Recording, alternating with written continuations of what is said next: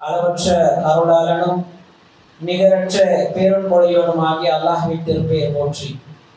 சலாத்தும் சலாமும் முஹம்மது ரசூலுல்லா ஸல்லல்லாஹு அலஹி வசல்லம் அவர்களின் மீதும் அவர்களது வழியை பின்பற்றி வாழ்ந்த சஹாபாக்கள் தாபியீன்கள் தபா தாபியீன்கள் இமாம்கள் சலபு சாலிஹீன்கள் இன்னும் உலக முஸ்லிம்கள் அனைவரின் மீதும் என்றென்றும் நிலவட்டுமாக என்று பிரார்த்தித்தவனாக எங்கே இருந்தாலும் எந்த சூழலில் இருந்தாலும் அல்லாஹவை அஞ்சு கொள்ளுமாறு முதலாவதாக எனக்கும் பிறகு உங்களுக்கும் உபதேசித்தவனாக இந்த ஜுமாவுடைய ஹுதுபாவை ஆரம்பம் செய்கிறேன்.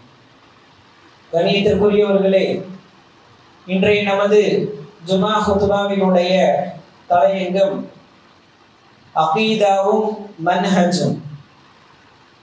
அன்பான சகோதரர்களே அல்லாஹுடைய தூதர் சதல்லாஹ் அலி வசல்லம் அவர்கள் ஒரு கூட்டத்தை பற்றி சஹாபாக்களுக்கு சொல்கிறார்கள். சஹீஹுல் புகாரிலே பதிவு செய்யப்பட்ட ஹதீஸ். அதிலே குறிப்பிடுகின்றார்கள் சஹாபாக்களை பார்த்து ஒரு கூட்டம் தோன்றுவார்கள். يحقر அஹதுக்கும் صلاته مع صلاته وصيامه مع صيامه அவர்களுடைய தொழுகையை பார்த்து உங்களுடைய தொழுகையை நீங்கள் குறைபட்டுக் கொள்வீர்கள். அவர்களுடைய நோன்பை பார்த்து உங்களுடைய நோன்பை நீங்கள் குறைபட்டுக் கொள்வீர்கள். யாரை பார்த்து சொல்றாங்க? சஹாபாக்கள். சஹாபாக்களுடைய வணக்க வழிபாடை பற்றி அல்லாஹு தாலாவே அல் குரானில் புகழ்ந்து பேசுகின்றார் அவ்வளவு வழிபாடு செய்யக்கூடியவர்கள் சஹாபாக்கள். அந்த சஹாபாக்களே ஒரு கூட்டத்தை பார்த்து நம்ம குறைவா தொழுகிறோமோ? நம்முடைய அமல் குறைவாக இருக்கும் என்று தங்களுடைய தொழுகை குறைபடுவார்களாம் அப்படி அமல் செய்யக்கூடிய ஒரு கூட்டம். அப்படி தொழக்கூடிய ஒரு கூட்டம். அப்படி நோன்பு நோக்கக்கூடிய ஒரு கூட்டம் தோன்றும். நீங்களே பார்த்து ஆச்சரியப்பட்டு போவீர்கள். உங்களுடைய அமலை குறைத்து மதிப்பிடுவீர்கள் என்று சொல்லிவிட்டு சொல்கிறார்கள் யம்ருகூன மினத்தீன் கமா யம்ருக்கு ஸஹ்மு மினர் ரமியா அந்த கூட்டம் தீனிலிருந்து வெளியேறுவார்கள் எப்படி என்றால் ஒரு வில்லில் இருந்து அம்பு எப்படி வெளியேறுமோ ஒரு வேட்டை பிராணியை துளைத்து ஒரு அம்பு எப்படி வெளியேறுமோ அப்படி அந்த கூட்டம் இந்த தீனை விட்டு வெளியேறுவார்கள். இந்த மார்க்கத்தை விட்டு வெளியேறுவார்கள் என்று அல்லாஹ் சொன்னார்கள். கண்ணியத்திற்குரியவர்களே தொழு தொழ தொழுகை இல்லாத கூட்டமா? நோன்பு இல்லாத கூட்டமா? சஹாபாக்களே ஆச்சரியப்படும் அளவுக்கு தொழுகையும் நோன்பும் நோக்கக்கூடிய கூட்டம் இந்த தீனிலிருந்து வில்லிலிருந்து அம்பு வெளியேறுவதை போல வெளியேறுவார்கள் என்று அல்லாஹ் சொல்கிறார். இப்ப என்ன பிரச்சனை? என்ன இங்க அவர்களிடம் கவனிக்க வேண்டிய விஷயம் என்ன? அமல் இல்லையா? அமல் இருக்கிறது. என்ன காரணம்? அவர்களுடைய கொள்கை அவர்களுடைய அக்கீதா அவர்களுடைய ஈமான் அது இல்லாமல் போய்விட்டது. அதில் அவர்கள் நெறி பிறண்டு விட்டார்கள். அக்கீதாவில் வழி தவறி விட்டார்கள். எனவே அமல் இருந்தாலும் அவர்கள் இந்த தீனில் இருந்து வெளியேறுகிறார்கள். ஹவாரிஜ் என்ற ஒரு கூட்டத்தை பற்றி அல்லாஹுடைய தூதர் இங்கே முன்னறிவிப்பு செய்கிறார்கள் அடுத்ததாக ஒரு ஹதீஸ் பாருங்கள். சஹி முஸ்லிமனுடைய முதல் ஹதீஸ். சஹி முஸ்லிம் கிதாப் இருக்குல்லையா எடுத்து பாருங்க. அதுல முதல் ஹதீஸ் முதலாவது ஹதீஸாக இமாம் முஸ்லிம் ரஹமத்துல்லாய் அவர்கள் பதிவு செய்கிறார்கள். யஹ்யபின் யமர் என்ற ஒரு தாபி ஹுமைத் பின் அப்துல் ரஹ்மான் என்ற ஒரு தாபி. இந்த ரெண்டு தாபியங்கள் தாபியங்கள்னா யாரு? சஹாபாக்களை சந்தித்தவர்கள் இல்லையா? அந்த ரெண்டு தாபியங்களும் அவர்களுடைய ஊரில் ஒரு கூட்டம் இருக்கிறது. அந்த கூட்டத்தினுடைய கொள்கை கொஞ்சம் வித்தியாசமாக இருக்கிறது. அந்த கூட்டத்தை பற்றி சகாபாக்கள் யாரையாவது சந்தித்தால் கேட்டுவிட வேண்டும் என்று முடிவெடுத்து மக்காவிற்கு வருகிறார்கள். வந்து அங்கே அப்துல்லா இபின் உமர் அவர்களை கண்டுவிட்டார்கள். ஒருவர் அவருடைய வடப்ப வலப்பக்கமும் இன்னொருவர் அந்த சஹாபியினுடைய இடப்பக்கமும் இருந்து கொண்டு கேட்கிறார்கள். அப்துல்லா இபின் உமர் அவர்களே எங்களுடைய ஊரில் ஒரு கூட்டம் இருக்கிறார்கள். அந்த கூட்டம் எப்படிப்பட்டவர்கள் தெரியுமா?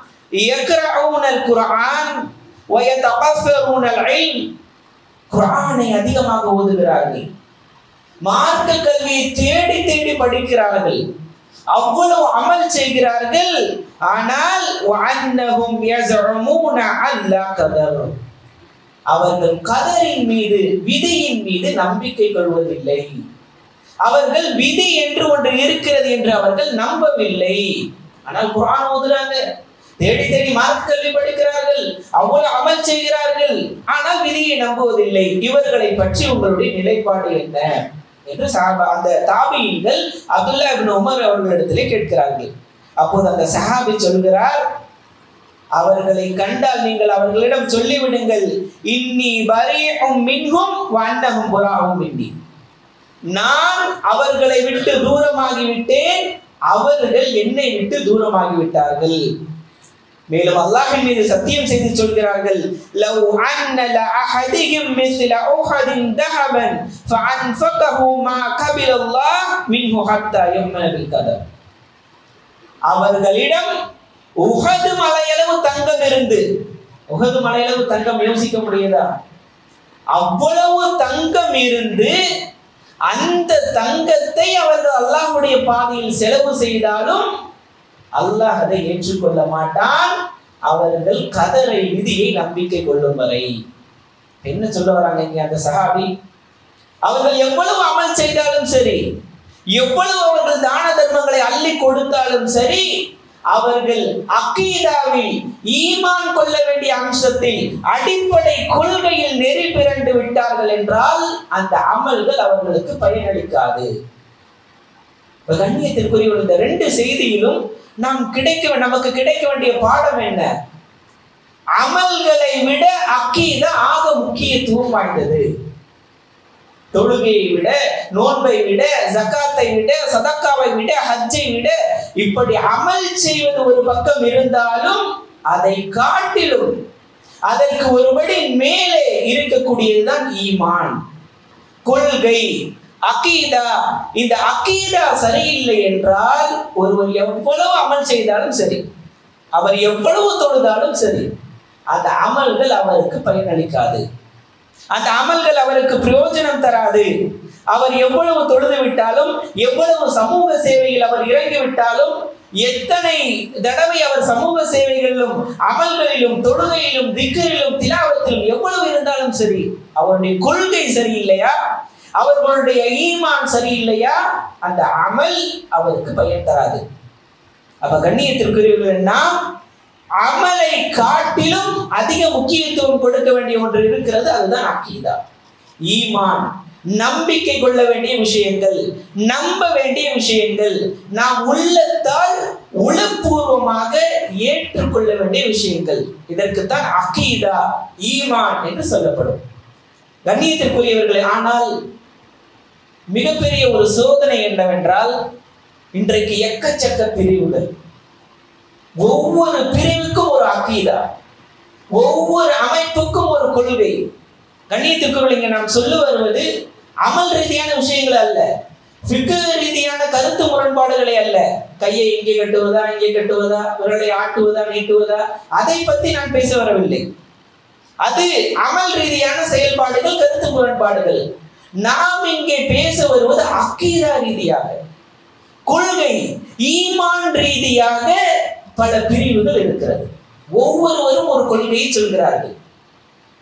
ஒவ்வொருவரும் தங்கள் கொள்கைக்கு ஆதாரமாக குரான் ஹதீஸை தான் காட்டுகிறார்கள். அதுதான் இங்கே பிரச்சனை. ஒவ்வொருவரும் ஒரு கொள்கையை சொல்கிறார்கள். ஆனால் ஒவ்வொருவரும் தங்கள் கொள்கைக்கு ஆதாரமாக குரான் ஹதீஸை தான் காட்டுகிறார்கள். பாருங்க நிறைய கொள்கைகள் இருக்கு. தர்கா வழிபாடு பேசக்கூடியவர்கள் அவுளியாக்கள் இடத்துல உதவி தேடலாம் என்று சொல்லக்கூடியவர்கள் எதை ஆதாரம் காட்டுறாங்க? குரான் ஹதீஸ் தானே குரான் வசனங்களையும் ஹதீஸ்களையும் தங்களுடைய கொள்கைக்கு தர்கா வழிபாட்டுக்கு அவுளியாக்களிடம் உதவி தேடலாம் துரா செய்யலாம் அவர்களை வசீலாவாக எடுத்துக்கொள்ளலாம் என்பதற்கு அவர்களும் குரான் ஹதீஸை தான் சொல்றாங்க. ஹதீஸ் மறுப்பு கூட்டம். ஹதீஸ்களை மறுக்கக்கூடியவர்கள் அவர்களும் தங்களுடைய கொள்கைக்கு ஆதாரமாக குரான் வசனத்தை தான் காட்டுகிறார்கள். காதியானிகள் என்ற ஒரு பிரிவு இருக்கு.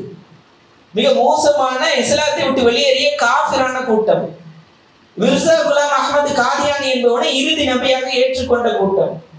அவர்களும் தங்களுடைய கொள்கைக்கு ஆதரவாக குரான் வசனங்களையும் ஹதீஸ்களையும் தான் காட்டுறாங்க. இப்ப எப்படி முடிவு செய்வது? எது சரியான அக்கீதா எது நேர்வழி? ஏன் கண்ணியத்திற்குரியவர்கள் இது அக்கீதா என்பது நாம் அமல் செய்வதை விட ஆக முக்கியத்துவம் வாய்ந்தது நாம் நிறைய தொழுகிறோம் நிறைய நோன்பு வைக்கிறோம் ஜக்காத்து கொடுக்கிறோம் சதக்கா செய்கிறோம். ஆனால் அக்கீதா சரியில்லை என்றால் இந்த அமல்கள் வீணாய் விடுமே இந்த அமல்கள் பயனளிக்காமல் போய்விடுமே. எவ்வளவு சேவைகள் செய்துவிட்டாலும் ஈமான் சரியில்லை. அக்கீதாவில் கொள்கையில் குளறுபடி என்றால் இந்த அமல்களுக்கு என்ன மதிப்பு இருக்க போகிறது? அப்ப நாம் அக்கீதாவுக்கு ஆக முக்கியத்துவம் கொடுக்க வேண்டும். ஆனால் ஒவ்வொரு பிரிவும் ஒரு அக்கீதாவை பேசிக் கொண்டிருக்கிறது. ஒவ்வொருவரும் தங்களுடைய கொள்கைக்கு குரான் ஹதீஸை தான் ஆதாரம் காட்டுகிறார்கள். அப்ப நமக்கு ஒரே குழப்பம். தர்காவாதியும் குரான் ஹதீஸை தான் சொல்றான். க- ஹதீஸ் மறுப்பு கூட்டமும் குரான் ஹதீஸை தான் சொல்கிறார்கள். காதியானிகள் குரான் ஹதீஸ் என்று தான் சொல்கிறார்கள். அப்ப எது சரி? யார் சொல்வதுதான் சரி? எது சரியான கொள்கை? எது நேர்வழி? எது ஹக்கு? என்று புரிவதில் நமக்கு ஒரு சிறிய குழப்பம். எப்படி முடிவு செய்வது? ஆனால் கண்ணியத்திற்குரியவர்களே இப்படி ஒரு குழப்பத்தில் அல்லாஹும் ரசூலும் நம்மை விட்டு செல்லவில்லை. இப்படி ஒரு குழம்ப வேண்டிய சூழலில் அல்லாஹ் ரசூல் நம்மை விடவில்லை. இப்படி பிரிவுகள் தோன்றும். இப்படி உங்களுக்கு மத்தியிலே பல கொள்கைகள் தோன்றும் என்று ரசூல் சல்லாஹ் அலைஹி அவர்கள் நமக்கு முன்னறிவிப்பு செய்துவிட்டு தான் சென்றிருக்கிறார்கள். அதிலும் எது நேர்வழி எது சத்திய கொள்கை என்பதை புரிந்து கொள்வதற்கு நமக்கு இலகுவான ரொம்ப இலகுவான ஒரு வழியையும் காட்டி தந்துதான் சென்றிருக்கிறார்கள். அப்ப நம்மள இப்படி ஒரு குழப்பத்துல விட்டுட்டு போல அல்லாஹ் ரசூல். ரசூல் சல்லா அலிஸ்லாம் அவர்கள் நம்மை இப்படி ஒரு குழப்பத்தில் விட்டு செல்லவில்லை. எது சரி? எது சரியான ஆக்கியதா? எது நேர்வழி என்று குழப்ப தேவையில்லை. ஒரு அழகான வழிமுறை தெளிவான ஒரு வழிமுறையை நமக்கு அல்லாஹ் ரசூல் காட்டி தந்திருக்கிறார்கள். அது என்ன வழிமுறை? எப்படி முடிவு செய்வது? எது சரியான அக்கீதா ஒவ்வொருவரும் ஒவ்வொரு அக்கீதாவை சொல்லும் போது எது நேர்வழி என்று எப்படி முடிவு செய்வது? அதைத்தான் நாம் இங்கு சுருக்கமாக பார்க்க இருக்கிறோம் அதற்கு பெயர் தான் மன்ஹஜ் என்று சொல்வார்கள். எப்படி அந்த மன்ஹஜ் அல்லாஹ்வுடைய தூதர் சொல்கிறார்கள் பாருங்கள் وَإِنَّ بَنِي إِسْرَائِيلَ تَفَرَّقَتْ عَلَى سِنْتَيْنِ وَسَبْعِينَ مِلَّةً பனு இஸ்ரவேலர்கள் எழுபத்தி ரெண்டு கூட்டமாக பிரிந்தார்கள் وَتَفْتَرِقُ أُمَّتِي عَلَى ثَلَاثٍ وَسَبْعِينَ مِلَّةً என்னுடைய உம்மத் எழு எத்தனை கூட்டம் எழுபத்தி மூன்று கூட்டமாக பிரியும் குல்லுகும் பின்னார் இல்லா மில்லத்த வாஹிதா. என்னுடைய உம்மத்தில் தோன்றக்கூடிய அந்த எழுபத்தி மூன்று கூட்டங்களில் எல்லாம் நரகத்திற்கு செல்லும் இல்லா மில்லத்த வாஹிதா. ஒரே ஒரு கூட்டத்தை தவிர. அப்ப எழுபத்தி மூன்றில் எழுபத்தி ரெண்டு கூட்டம் நரகத்திற்கு செல்லும் ஒரே ஒரு கூட்டம் தான் சொர்க்கம் செல்லக்கூடிய நேர்வழியில் இருக்கக்கூடிய சரியான அக்கீதாவில் பயணிக்கக்கூடிய கூட்டம். யார் அவர்கள்? சஹாபாக்கள் கேட்கிறார்கள். அந்த எழுபத்தி ரெண்டை பத்தி சஹாபாக்கள் கேட்கல. யாரோ சொல்ல ஒமன் ஹிய. அந்த ஒரு கூட்டம் யார்? ரசூல் சல்லா அலிசன் சொல்கிறார்கள் மா அன அலைஹி வாஸ்ஹாபி நானும் என்னுடைய தோழர்களும் எந்த வழிமுறையில் இருக்கிறோமோ அந்த வழிமுறையில் இருப்பவர்கள். அவ்வளவுதான். முடிஞ்சிருச்சு குழப்ப வேண்டிய அவசியமே இல்லை. எத்தனை கூட்டங்கள் இருந்தாலும் சரி ரசூலும் சஹாபாக்களும் எந்த வழிமுறையில் இருந்தார்களோ அந்த வழிமுறையில் இருப்பதுதான் நேர்வழி. அதுதான் சரியான அக்கீதா. அதுதான் சரியான கொள்கை. அதை தவிர்த்து மற்ற எல்லாம் பாத்தில். மற்ற எல்லாம் தலாலத் வழிகேடு. ஒன்னே ஒண்ணுதான் ஹிதாயத். அது மஅன அலைஹி வஸ்ஹாபி. நானும் என்னுடைய தோழர்களும் எந்த வழிமுறையில் இருக்கிறோமோ அந்த வழிமுறையில் இருப்பவர்கள். அவ்வளவுதான். ரொம்ப இலகுவானது. யார் எந்த கொள்கையை சொன்னாலும் சரி நாம் இந்த அளவுகோலில் உரசி பார்த்து கண்டுபிடித்து விடலாம். இதுதான் உரசி தங்கத்தை உரசி பார்த்தவங்களே உரைகள் அந்த உரையில் இதுதான். எது சரியான அக்கீதா எது நேர்வழி என்பதை உரசி பார்ப்பதற்கு உண்டான உரைகள் நபியும் சகாபாக்களும் அந்த கொள்கையில் இருந்திருக்கிறார்களா? இருந்தா அது நேர்வழி. அது சத்திய கொள்கை அது சரியான அக்கீதா இல்லை என்றால் அவர்கள் எத்தனை குரான் வசனங்களை அடுக்கி இருந்தாலும் சரி அது தவறான அக்கீதா அது வழிவேது கொஞ்சம் உலசி பாருங்க. இன்னைக்கு தர்காவாதிகள் கபர் வணங்கிகள் தங்களுடைய வழிபாட்டுக்கு ஆதாரமாக குரான் வசனங்களை கொண்டு வருகிறார்கள் ஹதீஸ்களை கொண்டு வருகிறார்கள். இப்ப நாம இந்த உரைகள்ல கொஞ்சம் உரசி பார்ப்போம். நபியும் சஹாபாக்களும் இந்த கொள்கையில இருந்தாங்களா? தர்கா வழிபாடு என்ற கொள்கையில் இருந்தார்களா? அவர்கள் சொல்லக்கூடிய குரான் வசனங்களுக்கும் ஹதீஸ்களுக்கும் சகாபாக்கள் இந்த விளக்கத்தை தான் கொடுத்தார்களா? நபி மரணிச்சாங்களே. அவங்களுடைய கபர் அவங்களுடைய கண்ணுக்கு முன்னாடி தானே இருந்துச்சு. அங்க போய் எந்த சகாபியும் நபியுடைய கபரில் என்று துவா செய்யவில்லை. அங்க போய் எந்த சகாபியும் நபருடைய நபியை வசீலாவாக எடுத்துக்கொண்டு அல்லாஹ்விடம் கேட்கவில்லையே. அப்ப இது வழிகேடு. அவ்வளவுதான். இந்த உரைகள்ல ஒரு பார்த்துடலாம் சகாபாக்கள் இந்த கொள்கையில் இருந்தாங்களா? இல்ல. அப்ப இது வழிகேடு. அதே போல ஹதீஸ் மறுப்பாளர்கள். இன்னைக்கு மறுக்கிறாங்களா இல்லையா? பல ஹதீஸ்கள் பல காலங்களாக பல வருடங்களாக மறுத்து கொண்டு இருக்கிறார்கள் உதாரணமாக சூனியம் தொடர்பான ஹதீஸ் சிஹர் தொடர்பான அல்லது அலாய் கந்திருஷ்டி தொடர்பான ஹதீஸ். சஹாபாக்கள் யாரும் இதை மறுத்தார்களா? அல்லாஹ் நாடினால் சூனியத்தில் பாதிப்பு உண்டு. இதுதான் நபியும் சஹாபாக்களும் கொண்ட அக்கீதா இதுதான் கொள்கை. எந்த சஹாபியும் மறுக்கலையே? எந்த சஹாபியும் சிகரை மறுத்ததாக ஆதாரம் இல்லையே அப்ப இது வழிகேடு. அவர்கள் எத்தனை விஷயங்களை அவர்களுடைய வாதத்திற்கு அடுக்கினாலும் சரி சஹாபாக்கள் அந்த கொள்கையில் இல்லை. சஹாபாக்கள் அந்த கொள்கையில் இல்லை. அப்ப ஒரே ஒரு வழிதான் நேர் வழி. அந்த வழி நபியும் சகாபாக்களும் பயணித்த கொள்கை. அதற்கு மாற்றமாக எத்தனை அறிவுஜீவிகள் வந்து எத்தனை பேர் வந்து எவ்வளவு விஷயங்களை கொள்கை என்று மார்க்கத்தில் புகுத்தினாலும் அது வழிகள். சகாபாக்கள் ஆனா அழகி வாசாபி நபி அவர்கள் தெளிவா சொல்லிட்டு போயிட்டாங்க. நானும் என்னுடைய தோழர்களும் இருந்ததுதான் நேர் வழி. அப்ப எந்த சஹாபியும் சிகரை மறுக்கலையே? எந்த சகாபியும் கந்திருஷ்டியை மறுக்கலையே? எந்த சஹாபியும் இவர்கள் சொல்வது போல நபி அவர்களுக்கு பின்னால் இன்னொரு நபி வருவார் என்ற கொள்கை அவர்களிடத்துல இல்லையே. அப்ப எத்தனை கொள்கை இன்னைக்கு கொண்டு வந்து கொட்டினாலும் சரி நபியும் சஹாபாக்களும் அந்த கொள்கையை கொண்டிருந்தார்களா? கொஞ்சம் உரசி பாருங்க இலகுவாக கண்டுபிடிச்சிடலாம். ஆ, ஆயிரத்தி நானூறு வருஷத்துக்கு முன்னாடி போயிருங்க. நடுவுல ஐம்பது வருஷத்துக்கு முன்னாடி வந்தது நூறு வருஷத்துக்கு முன்னாடி வந்தது அதெல்லாம் பார்க்காதீங்க. நேராக ஆயிரத்தி நானூறு வருடங்களுக்கு முன்னால் சென்று விடுங்கள். மா அன அலஹி வாஸ்ஹாபி இருந்துச்சா? நபியும் சஹாபாக்களும் அந்த கொள்கை இருந்தார்களா? ஹக்கு சத்திய கொள்கை. இல்ல அப்படின்னா அது வழிகேடு அசத்திய கொள்கை. அவ்வளவுதான். ரொம்ப இலகுவான வழி. கண்ணியத்திற்குரியவர்களே இதுதான் இதற்கு எக்கச்சக்க குரான் வசனங்களையும் ஹதீஸ்களையும் நாம் ஆதாரமாக காட்டலாம். நபியும் நபித்தோழர்களும் பயணித்ததுதான் நேர்வழி. அதற்கு அப்பால் உள்ளது எல்லாம் வழிகேடு என்பதற்கு மிக அதிகமான குரான் வசனங்கள் இருக்கிறது. பாருங்க. உதாரணத்துக்கு ஒன்று இரண்டு சொல்கிறேன். சூரத்து தௌபாவிலே அல்லாஹ் சொல்லி காட்டுகின்றான். வசாபிகூன லவ்வலூன மினல் முஹாஜிரீன வல் அன்சார். முஹாஜிர்களிலும் அன்சார்களிலும் வல்லதீன தபஊஹும் பிஹ்சான். அவர்களை நன்மையான காரியங்களில் பின்தொடர்ந்தவர்களிலும். அகீதாவுல கொள்கையில அவர்களை நன்மையான காரியங்களில் அந்த சகாபாக்களை அவர்கள் கொண்ட வழிமுறையில் அவர்கள் எந்த வழியில் பயணித்தார்களோ அவர்கள் குரான் ஹதீஸை எப்படி விளங்கினார்களோ அப்படி விளங்கக்கூடியவர்கள் ரதியுல்லாஹு அன்ஹும் வரதுஹன். அல்லாஹ் அவர்களை பொருந்தி கொண்டார் அவர்களும் அல்லாஹை பொருந்தி கொண்டார்கள். அவர்களுக்கு தான் சொர்க்கம் என்று அல்லாஹ் வாக்களிக்கிறான். அப்ப கண்ணியத்திற்கு நீங்க பாருங்க. அல்லாஹ் இங்கே மொஹாஜிர் என்று சொல்கிறார். அன்சார் என்று சொல்கிறார். அவர்களோடு சேர்த்து இன்னொரு கூட்டத்தை சொல்கிறார். யார் அவர்கள்? அவர்கள் பயணித்த வழியில் அவர்கள் குரான் சுண்ணாவை எப்படி விளங்கினார்களோ அந்த வழியில் விளங்கக்கூடியவர்கள் அவர்களுக்கு சுருக்கம் என்று அல்லாஹ் வாக்களிக்கிறார். அதே போல இன்னொரு குரான் வசனம் பாருங்க சூரத்து பக்கரால.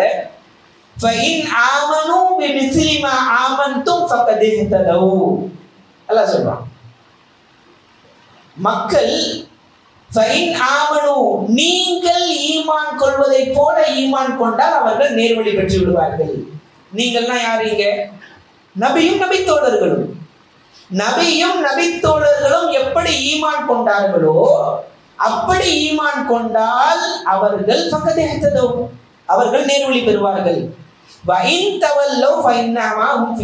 அவர்கள் புறக்கணித்தால் அவர்கள் வழிகேட்டில் தான் இருக்கிறார்கள்.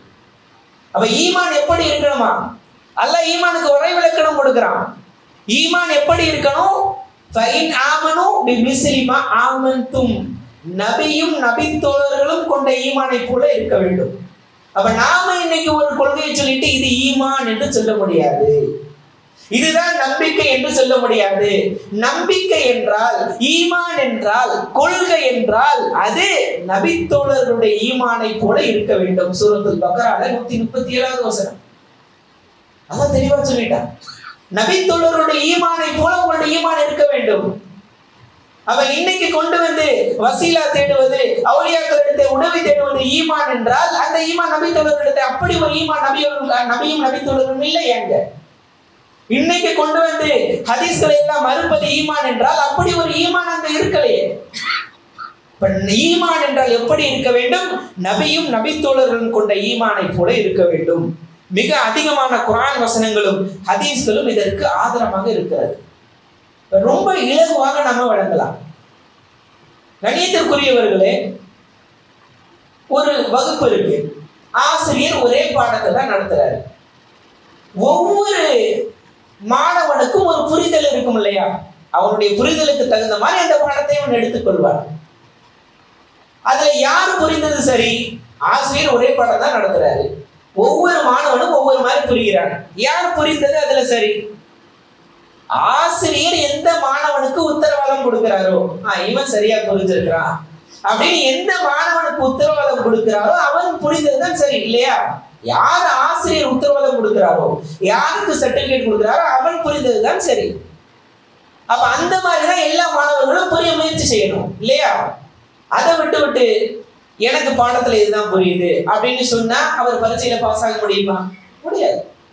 அதுதான் இங்கேயும். குரான் ஹதீஸ் ஒண்ணுதான். மார்க்கம் ஒண்ணுதான். அதை சஹாபாக்களுடைய புரிதலுக்கு அல்லாஹ் ரசூல் அங்கீகாரம் கொடுத்திருக்கிறாங்க.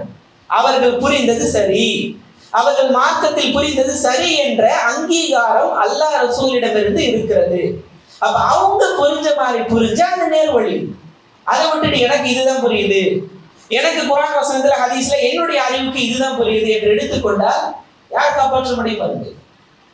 அப்ப அல்லாஹ் ரசூல் யாருக்கு அங்கீகாரம் கொடுத்தாங்க புரிதலுக்கு? சஹாபாக்கு ரதியல்லாஹு மறந்துவான் அல்லாஹ் பொருந்தி கொண்டான். வழிகேட்டில் இருந்த ஒரு கூட்டத்தை அல்லாஹ் புரிஞ்சு கொண்டிருப்பானா? புரிதல் இல்லாத ஒரு சமூகத்தை எல்லாம் பொருந்தி கொண்டிருப்பானா? இப்ப நாம் இங்கே புரிய புரிய வருவது என்ன? அல்லாஹ் ரசூல் சஹாபாக்களுடைய புரிதலுக்கு அங்கீகாரம் கொடுத்திருக்கிறார்கள். அப்ப அவங்க புரிஞ்ச மாதிரி தான் நம்ம மார்க்கத்தை புரியணும். அவர்கள் புரிந்த புரிந்தது போல் தான் குரான் சுன்னாவை நாம் புரிய வேண்டும். அதை விட்டுட்டு எனக்கு இதுதான் புரியுது. என்னுடைய விளக்கத்துக்கு இதுதான் படுது என்று சொல்வதற்கு இது நம்முடைய மார்க்கம் இல்லை. இது அல்லாஹ் ரசூல் கொடுத்த அல்லாஹ் அல்லாஹ் கொடுத்த மார்க்கம் அது. அவர்கள் யார் புரிந்தது போல் புரிய சொன்னாரோ அப்படித்தான் நம்ம புரியணும். இப்ப நாம இப்படி சொல்ல வரும்போது விஷயம் என்ன அப்படின்னா ஒரு சில பேர் அப்படியே மாத்தி விட்டுறாங்க. என்ன? இவர்கள் மூன்றாவது ஒன்றை பின்பற்ற சொல்கிறார்கள். குரான் ஹதீஸ் மட்டும்தான் மார்க்கம். குரான் ஹதீஸ் மட்டும்தான் வகி. இவர்கள் சஹாபாக்களையும் பின்பற்ற சொல்கிறார்கள். சஹாபாக்களுக்கு வகி வருதா? என்று சில கேள்விகளை கேட்பாங்க. இது அறியாத கேள்வி. நம்ம எங்கேயாவது சகாபாக்களுக்கு வகி வருதுன்னு சொல்லியிருக்கிறோம். நம்முடைய உலமாக்கள் பல பேர் பேசி நம்முடைய உலமாக்கள் எத்தனையோ காலங்கள் பேசியிருக்கிறார்கள். ஆரம்ப காலகட்டத்திலிருந்து நம்ம இந்த தௌஹீதுடைய பிரச்சாரத்தில் நம்முடைய உலமாக்கள் ஈடுபட்டு கொண்டிருக்கிறார்கள். எங்கேயாவது சகாபாக்களுக்கு வகி வருது என்று சொல்லியிருக்கிறாங்களா? இல்லை. சகாபாக்கள் உடனே சகாபாக்களை மூன்றாவது வகையாக எடுத்துக்கொண்டார்கள் இல்லை சகோதரர் குரான் ஹதீஸ் தான் வகி. குரான் ஹதீஸ் மட்டும் தான் வகி. சகாபாக்களுக்கு வகி வராது. நாம இங்க சொல்ல வருவது என்ன? விளக்கம். யாருடைய விளக்கத்தை முற்படுத்துவது?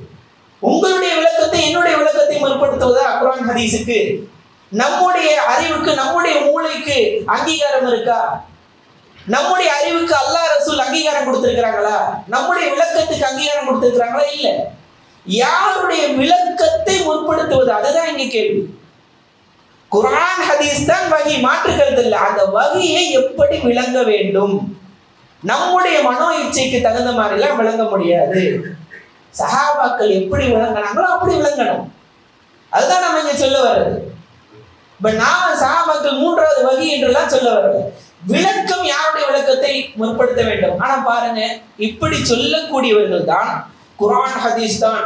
யாருடைய விளக்கத்தையும் எடுக்கக்கூடாது என்று சொல்லக்கூடியவங்க தான் அதிகமாக மார்க்க விளக்க பொதுக்கூட்டங்கள் நடத்துகிறாங்க அப்போ ஏன் விளக்கணும்?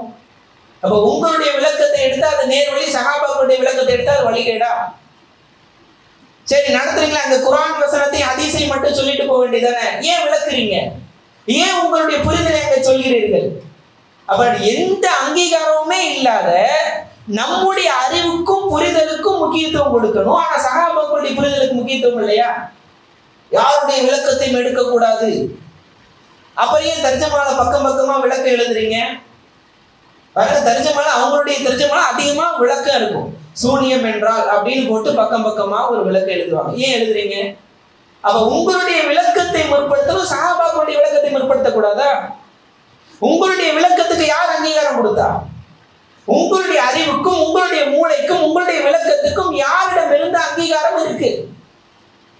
சஹாபாக்களுடைய புரிதலுக்கும் சஹாபாக்களுடைய விளக்கத்துக்கும் அல்லாஹ் ரசூலுடைய அங்கீகாரம் இருக்கு.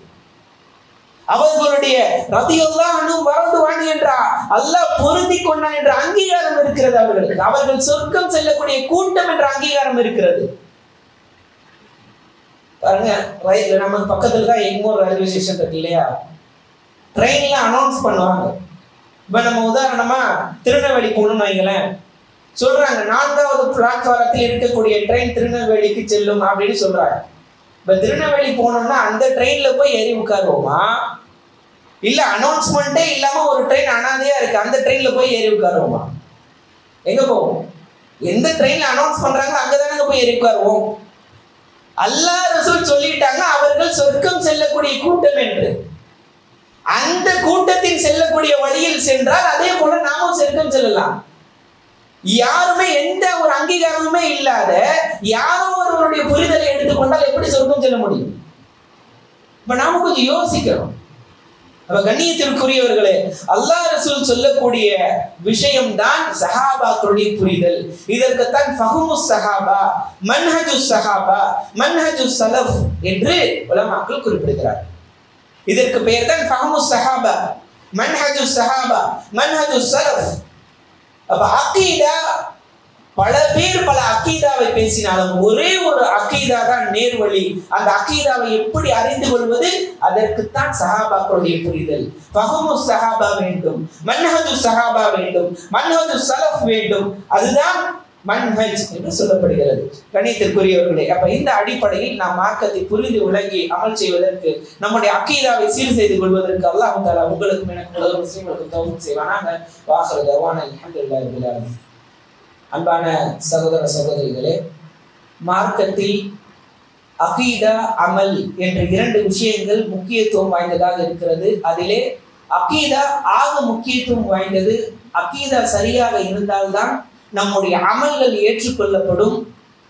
அகீதா பிழையாக இருந்தால் நாம் எவ்வளவு அமல் செய்தாலும் அந்த அமல்கள் நாளைக்கு பயன் தராமல் போய்விடும் என்பதற்கு ஒரு சில செய்திகளை பார்த்தோம். இன்று பல பேர் பல அக்கீதாவை சொல்லிக் கொண்டிருக்கிறார்கள் பல கொள்கையை சொல்லிக் கொண்டிருக்கிறார்கள். அதில் ஒரே ஒரு அக்கீதா தான் நேர்வழி. மற்ற அத்தனையும் வழிகேடு என்பதற்கான ஆதாரங்களை பார்த்தோம். அந்த சரியான அக்கீதாவை அந்த ஒரே அக்கீதாவை எப்படி அறிந்து கொள்வது? அதற்குத்தான் சஹாபாக்களுடைய புரிதல். சஹாபாக்கள் சென்ற வழி என்ற ஒரு இலகுவான வழிமுறையும் நாம் நம்முடைய முதல் உரையிலே பார்த்தோம். கணியத்திற்குரியவர்களே நாம் இப்போது இருக்கக்கூடிய இந்த மாதம் இந்த காலகட்டம் வரக்கூடிய வாரத்தில் மாற்று மதத்தினர்கள் தீபாவளி என்று சொல்லக்கூடிய ஒரு பண்டிகை கொண்டாட இருக்கிறார்கள். அதில் எக்கச்சக்க அனாச்சாரமான மனித குலத்திற்கு விரோதமான பல நிகழ்வுகள் நடைபெற இருக்கின்றது. அதுல பல விஷயங்கள் மொத்த மனித சமூகத்திற்கும் பாதிப்பாக இருக்கக்கூடிய பல விஷயங்கள் இருக்கிறது. ஆனால் மிகப்பெரிய கவலைப்பட வேண்டிய விஷயம் என்றால் நம்முடைய சமூகத்திலும் நம்முடைய சமூகத்திலும் சில நபர்கள் அதற்கு உறுதுணையாக அதில் பங்கு கொண்டு அவர்களுக்கு வாழ்த்து தெரிவித்து ஹாப்பி தீபாவளி ஹாப்பி தீபாவளி யாருடைய மார்க்கம் யார் சொன்னது இது கூடாது. நபி அவர்கள் தெளிவாக சொல்றாங்க. மன் தஷப்பஹ பி கௌமின் ஃபஹுவ மின்ஹும். யார் ஒரு சமூகத்துக்கு ஒப்பாக நடக்கிறாரோ அவரும் அவரை சேர்ந்தவரே. ஒரு சமூகத்தினுடைய வழிமுறையை நடைமுறையை எடுத்துக்கொண்டால் அவரும் அவரை சேர்ந்தவரே என்று நபி அவர்கள் தெல்ல தெளிவாக சொல்லிவிட்டார்கள். எனவே அந்த நிகழ்வுகளில் பங்கு பெறுவதோ அவர்களுக்கு வாழ்த்து தெரிவிப்பதோ அதில் ஈடுபடுவதோ இது நமக்கு கூடாது ஹராம் என்பதை உணர்ந்து கொண்டு நாம் நம்முடைய ஈமானில் நம்முடைய தௌஹீதில் நம்முடைய அக்கீதாவில் நம்முடைய மன்ஹஜில் தெளிவாக இருப்பதற்கு அல்லாஹ் தஆலா உங்களுக்கும் எனக்கும் உலக முஸ்லீம்களுக்கும் தௌஃபிக் செய்வானாக. சுப்ஹானக அல்லாஹும்ம அபியம் அஷ்ஹது அன் லா இல்லா அந்த அஸ்தக்ஃபிருக வ அத்தூபு இலைக்க.